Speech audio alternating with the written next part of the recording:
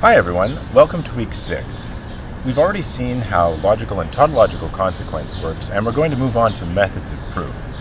The basic idea is that although truth tables provide us a really nice tool for showing that a consequence follows tautologically from a set of premises, they can get really elaborate really quick.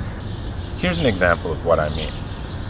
Suppose we want to assess an argument that has premises and a conclusion that incorporate in all 10 atomic subformulas. That's not crazy big, but the truth table will be.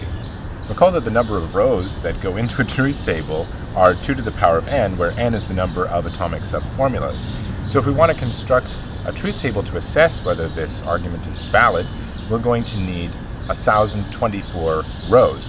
Um, that's way too big.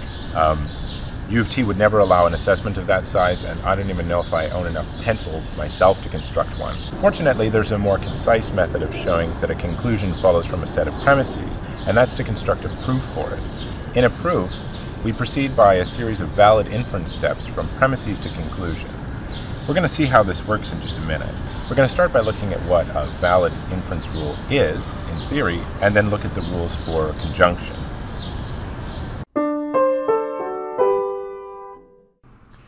So, in some respects, a proof is kind of like a special sort of list, and it's a list in which each of the sentences we introduce depends on prior ones, either prior sentences that we've proved or the premises. Now, we'll be proving this formally later on using the Fitch system, which has a Fitch bar, like this, and a list of premises over top of the horizontal bar. From these we can derive further conclusions, Q1 through Qn. At each step we appeal to a rule of some sort. We'll see in greater detail how this works. The main point of this week's lectures is to introduce informally the idea behind some of these formal rules that we'll be developing next week. Now as we've seen, there are two ways of introducing a sentence. Either it has to depend on a prior sentence, either in the proof or in the set of premises, or it has to be a logical truth. So we've seen, for instance, that at any point you can always state A equals A, because that's just a logical truth. Let's zero in on these rules.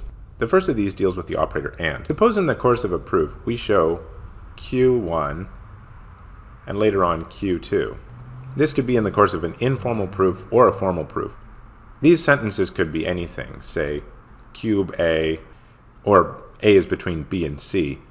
Once we get these, we're allowed to put them together into a conjunction. This is pretty basic and it almost goes without saying, but it's worth thinking about for a minute. The point is that we're allowed to make a conjunction of any two sentences we like as long as they're higher up in our list because everything in the list depends on either logical truths or premises we've taken for granted. So from A is a cube and A is between B and C, we can derive A is a cube and A is between B and C. This rule is called conjunction introduction. The second rule for AND is conjunction elimination, which just tells us that if we have two sentences conjoined like this, Q1 and Q2, we're allowed to derive from them either one of the conjuncts, either Q1 or Q2. Again, I think this is pretty straightforward. If I say we're having a picnic and I'm bringing drinks, you're free to derive from this both we're having a picnic and I'm bringing drinks. So this might seem like a lot of fuss over something that's quite straightforward, but this is one of our rules and the rationale for it makes good sense. Again, this is the rule of conjunction elimination. Next up is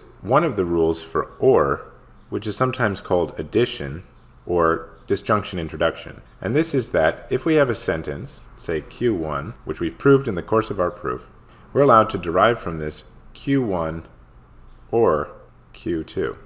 Now this rule strikes some people as odd, and there's good reason for that. If you give me a sentence, Q1, say, we're going on a picnic, and I add to it, we're going on a picnic or we're going to the movies, it seems like I'm basically throwing information away.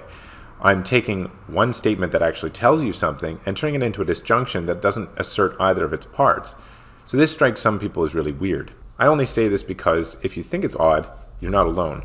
But suppose I wanted you to prove A and B or C. And at some point in your proof you got A, at some other point in your proof you got B, then by disjunction introduction you're allowed to give me B or C, and then by conjunction introduction you're allowed to add this together with A on the line above. So although it seems like you're throwing information away, we don't want to limit ourselves in terms of what operations we can have because at some point you might want to prove a disjunction as part of a larger formula or for whatever other reason.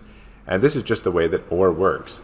You can always introduce as many other sentences as you like in a disjunctive string with one you've already proved. And these are just the basic rules for conjunction introduction, conjunction elimination, and disjunction introduction, which itself is sometimes called addition. Later on, we'll see these formal rules in action, and in the next video, we're going to have a look at some rules that are a little less obvious.